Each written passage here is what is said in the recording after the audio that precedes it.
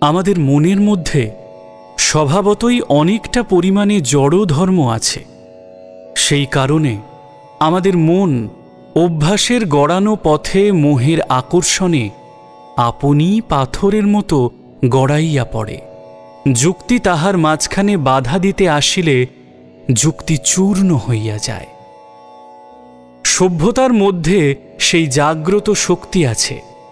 যাহা আমাদের মনের স্বাভাবিক জড়ত্বের বিরুদ্ধে প্রতিনিয়ত যুদ্ধ করিবার জন্য আমাদিগকে উৎসাহিত করে, যাহা আমাদিগকে কঠিন প্রমাণের পর বিশ্বাস করিতে বলে, যাহা আমাদিগকে শিক্ষিত রুচির দ্বারা উপভোগ করিতে প্রবৃত্ত করে, যাহা আমাদিগকে পরীক্ষিত যোগ্যতার নিকট ভক্তিনম্র হইতে উপদেশ দেয়।